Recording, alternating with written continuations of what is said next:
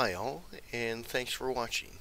In this video, I just like to show you how you can set up your Dead Space 3 with Reshade and SweetFX. And you can get the files here at ModDB or at Nexus Mods. And for Nexus Mods, you just want to click the Files and the Manual Download. Then you want to go to the description and to the Reshade link here and you'll want to use that to download the version 3.41 reshade update that you'll need. And same thing with ModDB, just click the download and you'll find the link for the reshade update there. Once you click that update, you'll get the reshade window here and you just want to download this version 3.41 here. Now once you've downloaded the files, you just want to open the reshade in SweetFX, minimize your browser, then you'll want to go to your game folder, so open this PC, go to C drive, program files,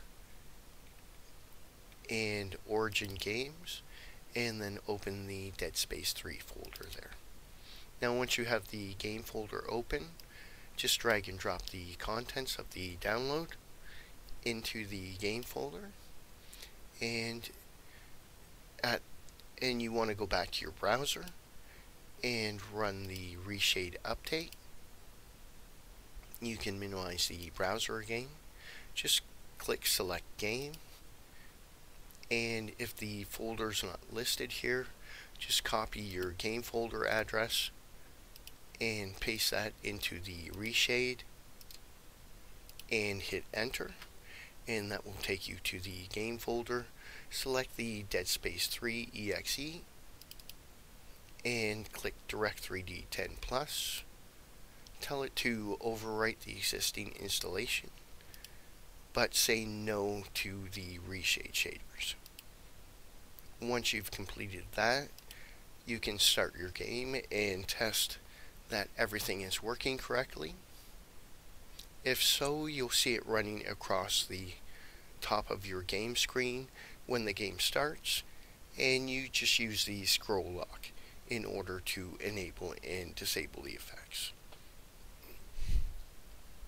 Now I will make a gameplay video and show you how to set up the in-game interface for that, although it is on the description also if you just want to check over those nodes. But it will work without the interface setup, and you'll see that just pressing the scroll lock. Now, if you decide that you want to uninstall the Reshade with effects, just select the files that you've installed, and you want to delete those out of the game folder. And it's now uninstalled.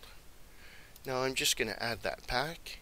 One thing that I like to do with my games, once I've added a reshade with SweetFX, is actually add them to CleanMem. And if you're not familiar with CleanMem, I will leave a link under the video in order to set that up. And if you have CleanMem, you just want to right click on the monitor and start your CleanMem setting wizard and you're going to go through to the only list that I show you how to set up in the setup video.